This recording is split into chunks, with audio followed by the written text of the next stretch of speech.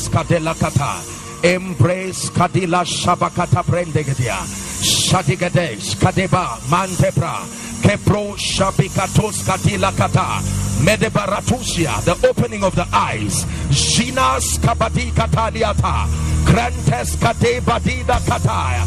Berando Shekete Pakata. In instrumental in the whole process of Africa's economic development. How true.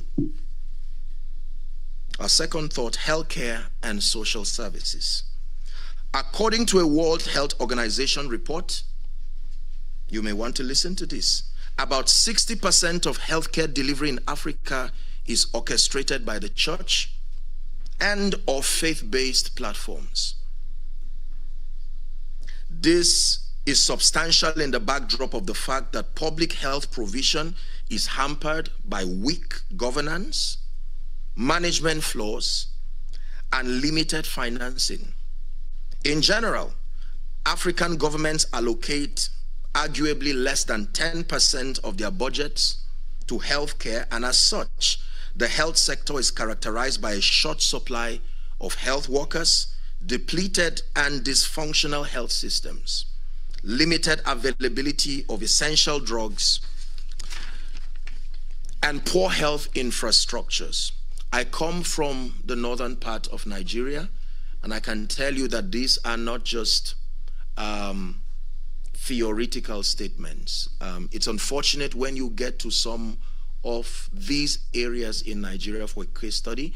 I've traveled quite extensively across the African continent, and I've been met with very, um, very disappointing expressions of pain and you know health issues even across many supposedly cosmopolitan cities. Healthcare in africa still remains a very serious issue even among the organized african societies. In this difficult and challenging setting church health services have dominated the provision of healthcare across the continent. Apart from missionary health facilities, the church has continued to play an invaluable role in offering preventive and curative medical services, particularly the local communities.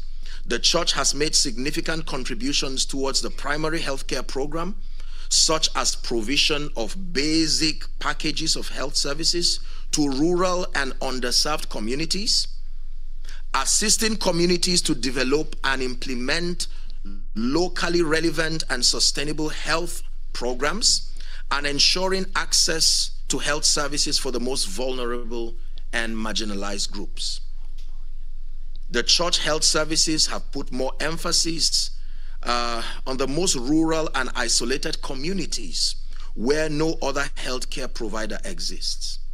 In remote and poor localities which do not have roads or good road networks, and where people have to walk sometimes, and you believe this, for more than a day to reach the nearest hospital available. The church has maintained services that would easily have been abandoned by the state.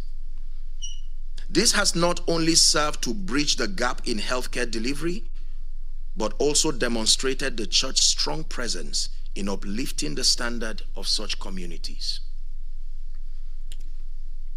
The third area of focus in examining Africa's role is the area of economic empowerment. And particularly, I'm looking at entrepreneurship, job creation, and social aid. The church has increasingly engaged in Africa's economic and social development by providing various supports and value adding economic empowerment services for the well being of the African people. For example, the church has been involved in giving both spiritual support and material contribution to the poor, the needy, and the less privileged within their churches and communities. I can tell you that myself and our organization have been actively involved in this wise. We've launched various programs. There currently is an agricultural empowerment program, and we've spent millions and millions of naira just putting together um, professionals along that line to help train and empower people. This came as a response to the harsh economic reality that is plaguing Africa, and that includes Nigeria, even though the largest nation within the African continent. The church has been actively involved in collaborating with private organizations and governmental institutions to help create jobs, give professional career trainings and workshops, set up entrepreneurship and business programs to as many individuals and local communities at large. Many churches have been at the back of the rise of many startups and SMEs with a view to promoting economic empowerment within their regions and extending the same across the entire continent. Our fourth area of consideration peace and religious tolerance. Hmm. I took a deep breath because this is quite an interesting one. Religion has been a force of both good and ill in the stability of the African countries. This is the fact. In several destabilizing conflicts, conventional or low level, faith and religion have served as important undertones and sometimes as the outright basis for conflict and wars. Examples of these factors um, or examples of these kinds of incidences uh, are for a case study the Boko Haram insurgency in northern Nigeria. This has largely been driven by extremist views. And then you may want to consider the Lord's Resistance Army in Uganda that was formed in 1987 by Joseph Kony with the aim of overthrowing the Ugandan government of Yoweri Museveni and establishing a Christian theocratic state.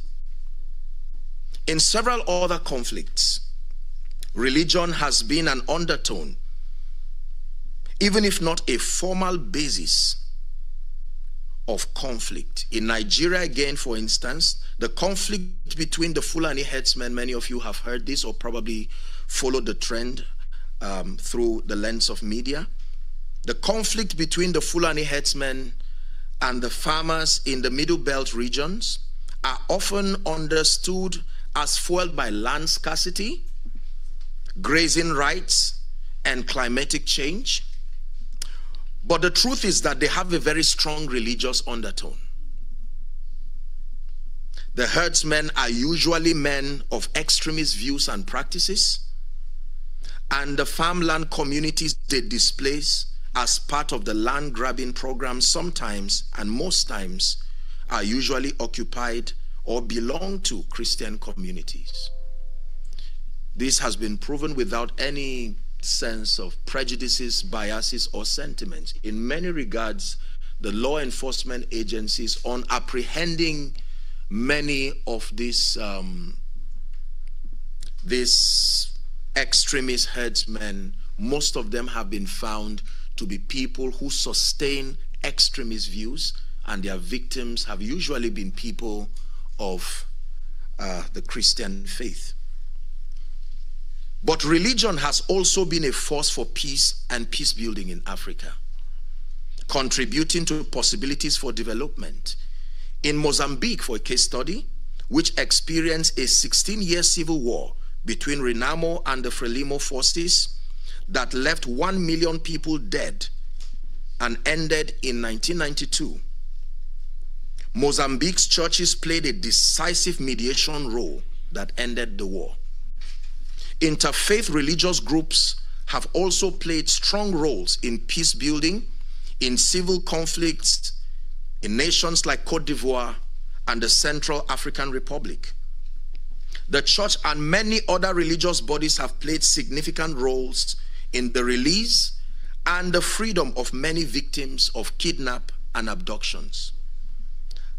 As we have in many parts of Nigeria, including um, you know, the Middle Belt and so on and so forth. In fact, extending to all the African nations. I remember one time I returned from a meeting and I was met with a very serious distress call. And on responding, I was told that um, the abductors had taken some people that were affiliated to me.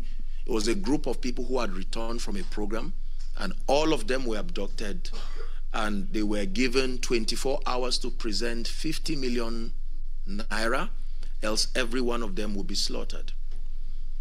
And because they were closely related to me, we mobilized you know, to inform the law enforcement agents, but uh, clearly there seemed to be only so much they could do.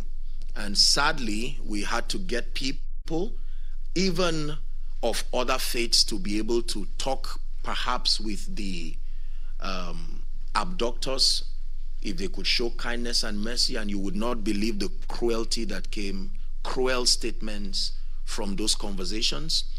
Sadly, one was shot on the foot. Usually, those levels of mayhem are unleashed to get you to see that they are serious. To cut the long story short, we ended up spending up to 20 million naira. Uh, even in the presence of law enforcement agents, thankfully, they were all released. And we had the opportunity. You see, the challenge is when these people are released, they still are not fine the trauma that they have to go through. Some of them go through rape, some of them go through all kinds of traumatizing things. And it's one thing to get them free, then begin a process of constructive rehabilitation. Because some of them, even without the activity of terrorists again, they may end up dying. The trauma becomes too much, you see. And so uh, I'm not just saying this as a lecture. These are realities that some of us have been forced to live with, especially when you become a leader within these regions. You cannot shy away from being part of the process that leads to some of these things. And so I'm just using that to point that the church has played very significant roles on this wise. Furthermore, the church has played significant roles in resolving ethnic and religious clashes in many parts of Africa. And in fact, have become partners with government and law enforcement agents in the promotion of peace, tolerance, and mutual respect. Religious bodies have actively organized peace concerts. Our organization has done that too as a case study. And so uh, my work started largely in Zaria for those of you who are familiar with Nigeria. And um, for many years, we experienced all kinds of religious crises. And so we came up with an initiative to hold periodic peace concerts. And the intent is not to advocate fanatism. I'll be talking a bit about that before I conclude my discourse. And we successfully brought people from all religions, taking away all kinds of prejudices and promoting love. And you wouldn't believe how productive these concerts were. People came, um, we had all kinds of welfare activities and people, Christians, Muslims, and any other person in between, they came and it was very productive. I can tell you today that I have very good friends that cut across the religious divides. Very productive discussions. We may not agree on the core matters of faith, but I do not think it's been enough reason to hate, to fight, and so on and so forth. Are we together? Okay, so um, religious bodies have actively organized peace concerts, interfaith forums, sport activities, and public discussions in many parts of Nigeria and sub-Saharan Africa with a view to bridging the gap of intolerance and promoting peace and mutual respect. Challenges and criticisms. Like every and any other system led and managed by humans, there will always be limitations, compromises, excesses, and ill practices. Faith, spirituality, and religion has had its share of the aforementioned challenges. This has led to criticisms from various quarters and strong reservations as to the overall relevance and practice of faith in our contemporary society today. There's still a lot of growth and improvement, truly, that needs to be brought to the current context of faith and spirituality, particularly in sub Saharan Africa. matters of neocolonialism by the religious and political elites, advocacy of laziness and irresponsibility through wrong and extremist teachings, lack of transparency and accountability in leadership, even Christian leadership, moral failures within faith based systems are all issues that, whether now or in the future, I presume, will have to be confronted if the relevance of faith in nation building and socio-economic development is to be preserved. My concluding thoughts. It is very clear that faith and spirituality still hold great significance in shaping the African continent as far as its future and destiny is concerned. But it is also very clear, and sadly so, still falls short of its potential. I have a very brief discussion with um, the head of politics at the Abuja U.S. Embassy. Subjects that we spoke about was um, the idea of the kinds of teachings that people become victims of the orientations that come to them. And because Africa is a very religious continent, uh, most of the ill taught and practiced in Africa. There will have to be a growing orientation that transits faith, spirituality, and religion from a mere advocacy of fanaticism, societal transformation, and nation building to one that will, in greater measures, spearhead the campaign for moral excellence honor to all men, we must introduce superior policies that stimulate great growth and development while preserving the fundamental human rights of all and sundry. This way, faith and religion will remain potent forces of change, socio-economic development, and will become active the world at large. I hope that these thoughts that I've shared with us have helped us to really see that in the midst of all the conflicts that surround faith, spirituality, and religion, that from the lens of history and from the factors that I've put before you, I think it is safe to say that faith still holds value and relevance in our contemporary society, especially sub Saharan Africa. Thank you very much for your attention. God bless you.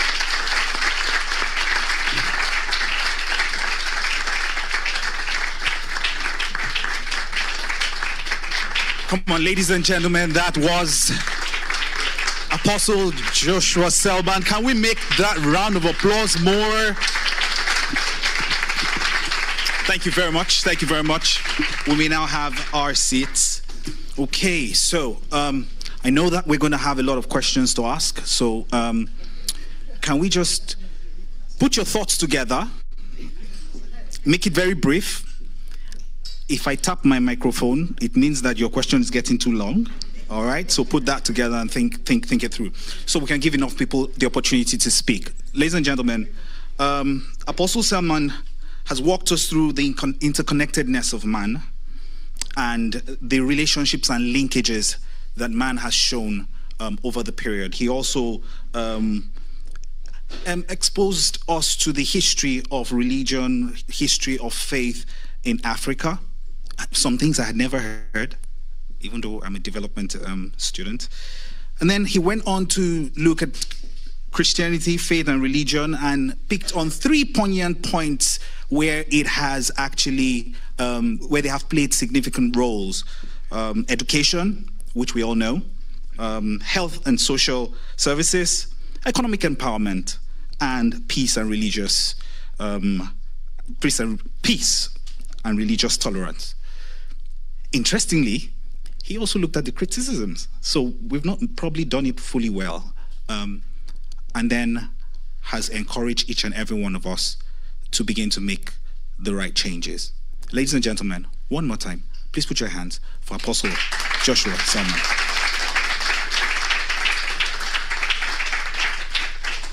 Uh, okay, so we're going to be having a very quick fire chat. I will try not to throw the first shot, but I probably have to. Um, and I'll try to be very gentle, sir. But sitting with Professor, with um, Apostle Selman, uh, uh, Professor is not so bad. Yeah, it's not so bad. okay, um, is Professor Olupona. His credentials are, I'll take another 10 minutes to go through that. So permit me not to. Um, he, will, he will be hearing the thoughts from both of them. First shot, and I'm going to look away from my notes. When we look at the growth of Christianity and the growth of um, the development growth of various continents, the three continents that has shown significant growth in religion and in Christianity, Latin America, Asia, and Africa. But the growth in religion in this continent and the economic growth in those in the continents are quite not matching. So I'm just wondering, do you have a thought on why religion is growing in Latin America and economic growth is on the increase? Um, why it's the same with Asia? Asia is, of course, more bludgeoning than the rest of them. And then Africa is not doing so well. Are we missing it somewhere? What are we doing wrong? And what role has religion got to play with it? Uh, over to you, sir. Thank you. Thank you so much.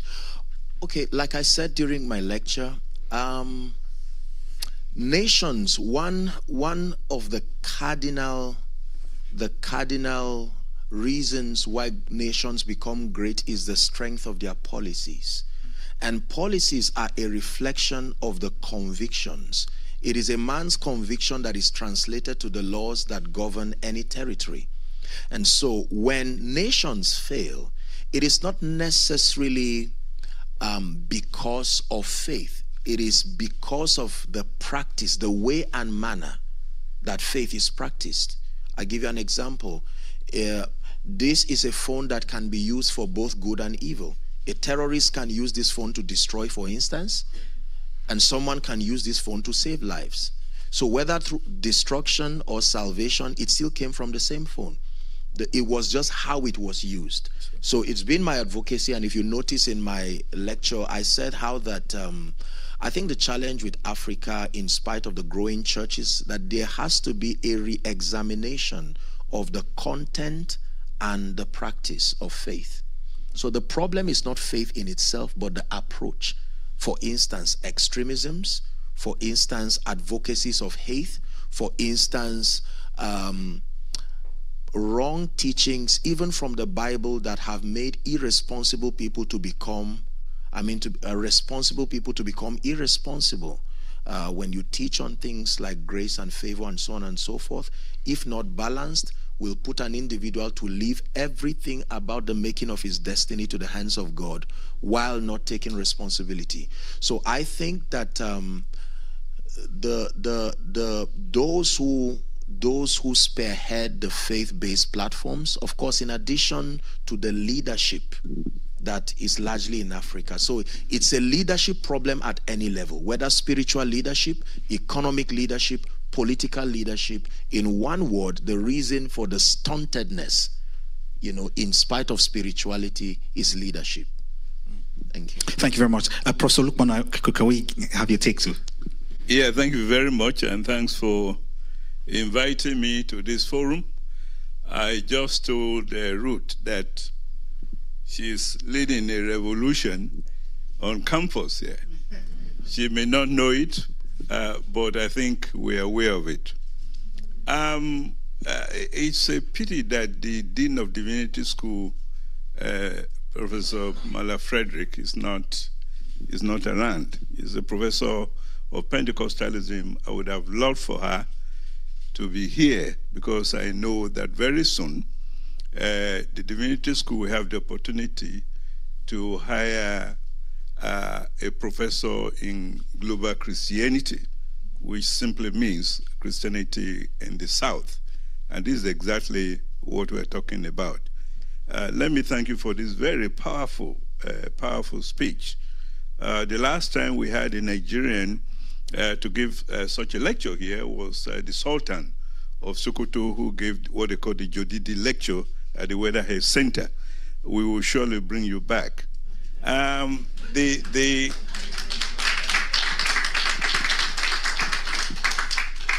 that was a very interesting question that you posed to us. And I think it relates to one of the issues that uh, the apostle mentioned, which I will uh, repost as what we call lived religion, the, the, the praxis itself, where religion is seen, say Christianity, not just as a place where you go to worship or even as a faith you defined, but almost like a heritage that you are born into it and you own it and you claim it and you practice it. We're lacking this. And this is the root of our problem. Uh, don't be surprised that myself and a group of people, we have taken the Anglican Church of Nigeria to court here. We've gone to court twice. It's my first time of going to court. But we have to do to defend the faith, to defend Christianity, Nigerian Christianity in America from, you know, a cash and carry Christianity. So until that kinds of thing, that the prophets even talked about the Torah that is in the heart, that prepares you as a Christian, not what you just hear and you sing and you go home and you think it is finished. This is the kind of revolution that we need. And I think this is what the apostle saw. This is my first time of listening to this type of conversation. It's usually a conversation on Christianity given by scholars. And I'm glad you mentioned at least uh, an African uh, scholar, Bediako, in, you know, in very insightful summary of the history of Christianity. I could also mention my late teacher, Ogbu Kalu, you know, who used to be at the University of Nigeria, Nsukka, who unfortunately died some years ago. That praxis is important. And that praxis will also translate into governance. Why are the Christians taking bribes? Why are they involved in padding the budget? So that means that, you know, Christianity has not entered into the heart where they are willing to die for what they believe in and they want to be the only person that says, No, I am not going to take this. So uh, we can go on and on. So, so governance is important, but governance that will make you say, I am a Christian. I am not going to take this bribe. I'm here to serve in the Senate as a Christian. I want the transformation of my people and the society. This is where I think we need to go. And these kinds of of, of training and education. It's not the large cathedrals. We're competing over who builds the largest church in Nigeria when our youth have no jobs. Uh, let me just say. So this is just. Thank you very much, sir. Uh, I, I, I kept tapping my mic in my head. but didn't get to do it physically. Thank you very much, sir. Um, so, because my time is very limited, I, want to know if you could just signify with show of a hand, so I can. So I have one, two, three, four, four questions. Uh, the other hands are coming. Let's take the first four, and then we'll see what more, how much more time I have. Um, I still have my own question, so very brief, very brief. Very brief. Thank you very much. I had the privilege of going to the same university as. Uh, uh, Prophet, uh, I mean Apostle Selman, uh, and not just the same university, but the same faculty. We both were uh, engineering students. So, Apostle, I am just glad that you have taken this dimension to your evangelism, where you are concerned about development and you are upfront about the fact that there are some of the things that we are not getting right with respect to religion. Growing up in southern Kaduna from Kaduna State, I have seen a lot. The Sharia crisis you were talking about, I remember my house was burnt in that crisis. That is one of the things that actually fueled me from an agric engineer to come here to the divinity school to have a degree there. I'm interested in understanding how religion can now be used as a force of good. And when I came here and I saw the number of people that we have from the diaspora, I mean, in the diaspora who are here at Harvard, I was excited that you have come. Can you please help us and talk to our people who are here in the kind of ways that we need to have synergy in order to build home? Because it is important. I tell people I want to be here, but home needs me more. Please, yeah.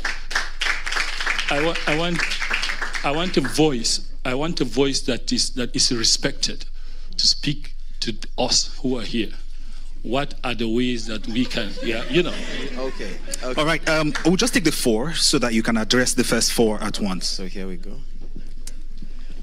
Um, hello. Um, so I, I, I wanted to know how do we get more spiritual and religious leaders to um, understand like their responsibility is more important than just preaching about preaching the Bible, pretty much like what you were saying, and um, like how do we get them to understand that it's not about building more church buildings, but more church community.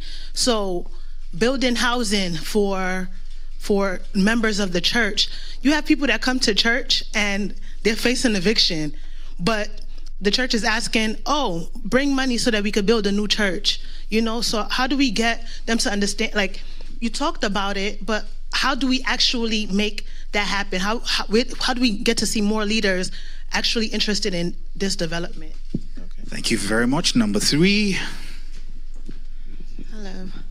So my question is, is not actually a question. is is uh, more or less. I, I want your comment on it. I mean, if sorry, sorry, I was seated.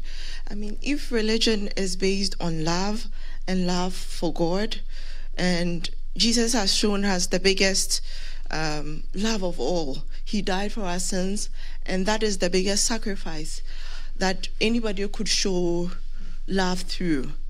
Um, why is it difficult for we as Africans to see ourselves or to show love to each other? Why is it difficult that our politicians, um, if they claim they claim they are Christians, they are those who, who who give massively to the church. If you go on record, they are the ones who give sure of real, but they, they, they think it's all right to to to to, to sell the resources of Africa for for pennies over a dollar to countries who I mean who I mean in the Bible there were I mean uh, the people of Israel were always fighting I mean I mean uh, uh, um, there were always conflicts on land and whatever. So, meaning that it's actually biblical that every country wants to uh, gain something. So, we as Africans, if we are not protecting ourselves from what, uh, I'm sorry, mm. I mean, if we are not protecting ourselves, it's actually biblical to fight for uh, for land, for resources, for for their people. Do you understand? So if they giving you bribe is what will make you sell, they will do it.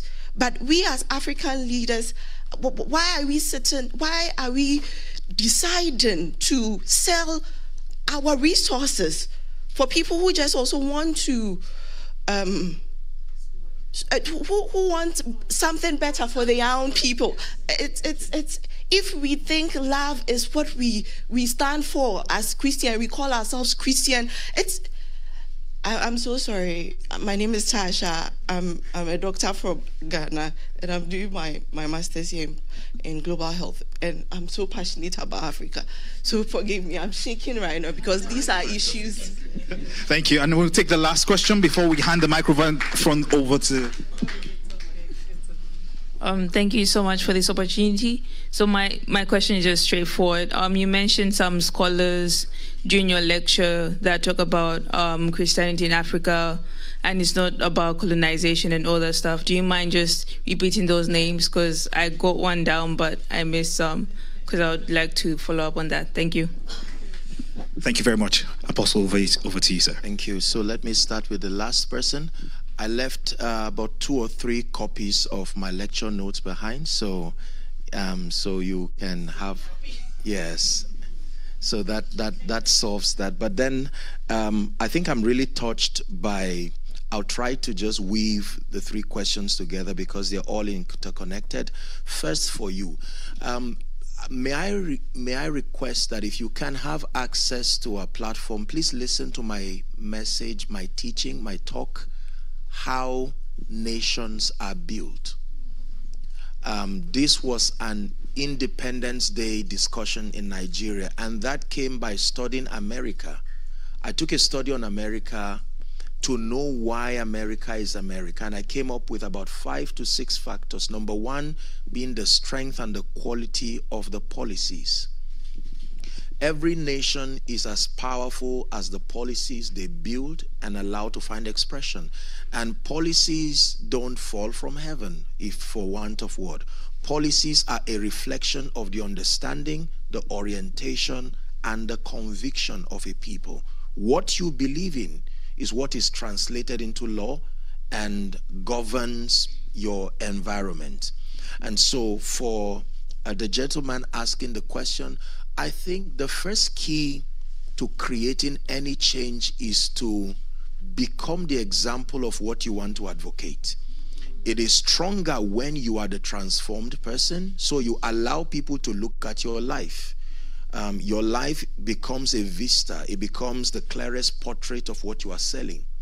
And so, most times, I see your being here, and for all of you who are of the African descent, I salute your love and labor uh, and in all that you are doing here because this, for me, is a representation of your commitment to making Africa better. Talking about it, whining and complaining like many do, unfortunately, will not get the job done. Yeah, so you are taking it a step further and investing in knowledge, learning, you know, relating with and so the the the kind of I, I, don't know how many presidents have come out from here and so you're dealing now with minds uh, where the the limitations of culture the limitations that have come as a result of biases uh, mediocrity and all kinds of sentiments have been taken away largely, I assume. So, in learning, you are able to interact with global perspectives. Now, from that standpoint, you will clearly see the flaws that have come upon the African continent. Then, from your transformation, you come up with programs. Um, the change cannot happen until your approach is systematized. You see that? You systematize your approach by building programs that reflect your approach. And I will tell you something about transformation. Transformation is one person at a time. Most people do not understand the power of one. One million is one plus one, help me, plus one plus one. Every one you take out of one million stops it from being one million. Did you get that? So if you say one is so insignificant, reduce one from one million, it can never be called one million again. What makes one million one million is the strength of many ones. You see that? So for every one person you change, every one person who your transformative programs affect, you are increasing the momentum for territorial transformation. I think most people, and especially those of us who are the of the African descent, we are used to big things, big cars, big houses. So we do not respect the power of small, constructive, uh, effective progress. You know, if your house is small, something is wrong with you. Your car is small, something is wrong with you. And so, if you have a chance to transform people like the minds in this room now, you would prefer to make noise around a stadium than to constructively distill your knowledge to people who uh, can create um, something that is potent. So, for you, sir, my advice would be to continue what you are doing, you have to gain the advantage of relating with global minds. And this is what this platform provides. And so, from the lens of those minds, you can come up with programs and probably tailor make it to suit the African continent. There are so many things we do. I'll give you an example. I hope I'm not wasting your time, am I? So I decided to come up with a program. My hometown back in northern Nigeria, uh, because of the the um, ancient history of traditional practices, the worship of the dead, and so on and so forth. In fact, some of those people have children who are purported to be the ones who become extensions of all these idol things. And so, because of that, they are not allowed to participate in secular education and several other things. And I decided to come up with an approach to deal with this. First, because uh, I am one person who believes in the power of faith and spirituality. So our approach was prayers. You see that now? This is my approach. But then we did not stop there. We went ahead to begin to, uh, right now we're doing, I don't know number what now, but the project was to build a number of boreholes and uh, transformative projects. And once people begin to see you translate spirituality to a context they can relate with, now they are ready to listen. Even if they won't believe, they will respect the fact that there are fruits to your advocacy. It's not blind fanaticism. We began to lead a campaign of scholarships um, from the, the, the elementary stages to the advanced stages, now to college. Um, we've invested massively in all kinds of things widows, orphans, uh, very serious transformative projects. And then I had a meeting with the, all the traditional rulers, all of them, and decided to challenge them that it's time to begin to advocate a new order of things, that they must begin to probe into some of these practices they inherited. We must begin to use facts and figures to find out has this worked in the last hundred years? And if not, can we begin to at least be flexible enough to reconsider other superior options? And in the presence of a few things that you may have done, it now gives them the motivation to say, look, if this man has done this this far, and this has come as a result of the fruit of your orientation let's give it a try and i can tell you it's it's remarkable what is going around my place right now we've invested so much uh, in the prison say in zaria northern nigeria um, i have a very strong relationship with the people uh, we've provided all kinds of things generators food every time during salah during christmas in in our social responsibility, we never, never bring prejudices of religion. Never. And so you would find me with um, the Muslim leaders and all kinds of people. I greet them, I joke with them, I pray with them. In fact, one of my closest friends in northern Nigeria uh, is a Muslim. He has a school, he has a hospital. And during my birthday last year, he wanted to buy me a Quran, a Bible, and a Torah but he didn't know how I'll feel about it. And I told him, I said, next time, go ahead. You're talking to a sensible person. Just because I'm a Christian didn't mean I threw away my reasoning. You just let me have those materials and I'll consult them as occasion serves. So I think that um, um, we have to contend for transformation. Many people who see the need for change are not transformed enough to respond to that change. Did you get what I said? That answers the other question, my dear. And so, if we are to create a debate here on social media, you'll be amazed at the number of unintelligent people who will be interested in responding. But it ends up as noise coming from different angles. The reason is because everything depends on transformation. You cannot change a system you are currently a victim of. You have to come out of that system mentally you see that? Then you will now be able to create programs that gradually, it won't happen overnight, I can tell you, gradually begins to influence the system. Uh, for those of you who are uh, particular about the spread of Christianity, my apologies for just stretching a bit. I just wanted to bring perspective to what you were saying. Um, Jesus started with 12 disciples. Am I right on that? And then you know, the Bible and Christian writings would tell us that then 120 people, look how small they were, but look how detailed he was in instilling his mindset and helping them understand the project. And he didn't fail. You see that now. So imagine that he tried to do that to the 5,000 he fed. He only fed them and let them go home. But when it had to do with building people who advocate his ideas. He took time. Even when he resurrected, he said, Look, uh, leave my resurrection, get together. I need to talk to you. And he spent 40 more days helping them. So I think that that is the idea that we must have. Everyone who participated in this lecture and this talk, you must believe that you're not just a number in the midst of many. Until you see yourself as an advocate that can bring change. Remember my example of one million and one? So you are one, but you are a significant one. Do you know why? Because you are one who is in an ongoing process of constructive transformation.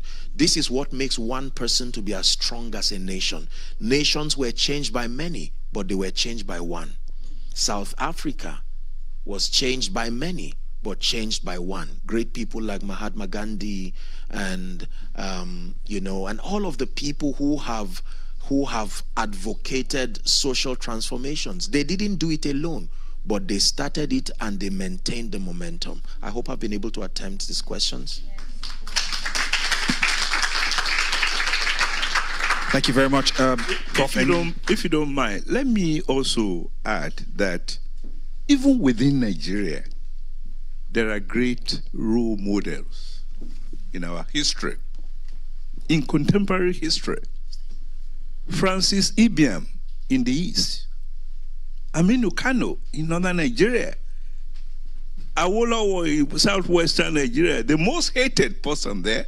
If not for the program that he established, we will not be here. You can't explain southwestern transformation without going back to that man who, just like a leader, and lived by examples. He was so good that politicians in Abuja were saying, oh, we hear it doesn't do nice. How can you be a politician and be staying with one wife? The kinds of useless debate they were making when the man was busy transforming southwestern Nigeria. So, we, what I'm trying to say to you is that also look inward, that within the country itself, there are great men and women who played important roles that we are able to emulate. And this should also serve as examples for us. Thank you very much, sir.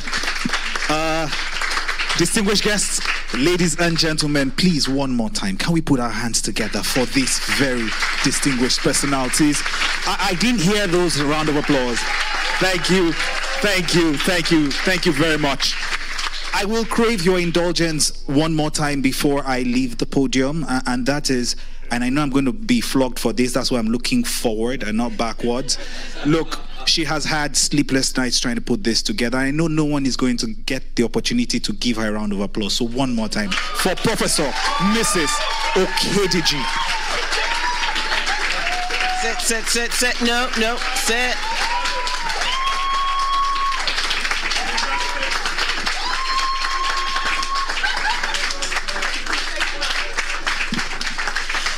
Right, everybody, let's sit. Let's sit. Let's sit. Um, I want to say thank you, Apostle. So I was born in Zaria. Hello. Hello. My house is nil, but you know I gotta claim it. I have to claim it. Um, Professor Olupona, thank you. Thank you. Um, you know the thing about Harvard is that it has a mantle for leadership.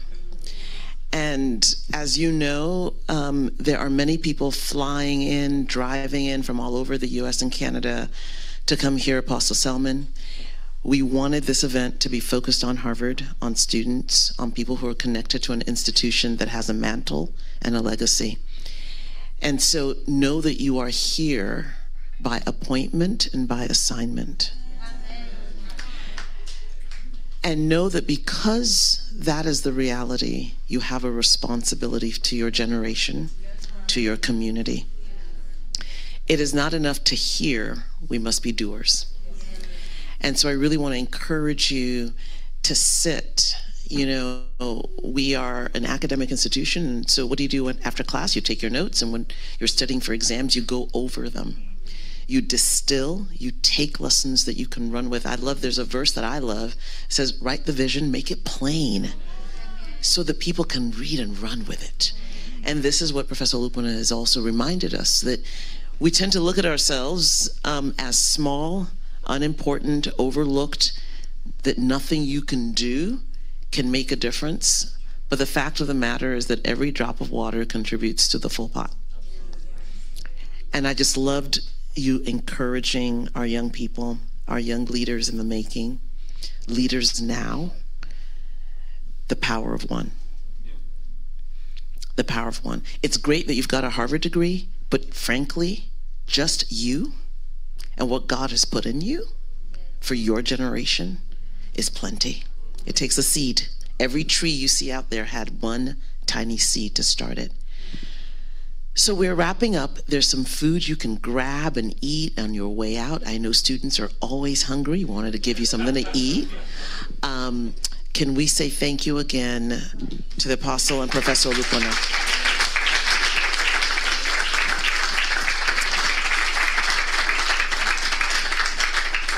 One last thing that I want to say to all of you um, everything Apostle Selman lectured on today is true about America. This is a church problem, it's a faith problem.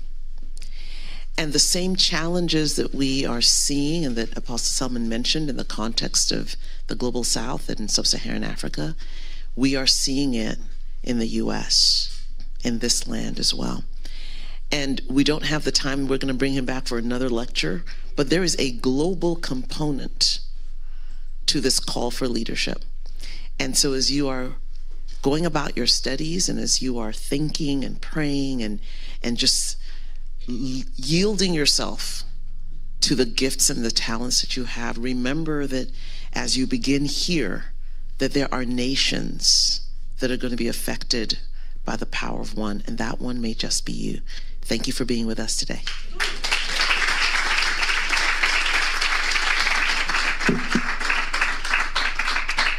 All right eat eat Go to the back, grab food and run.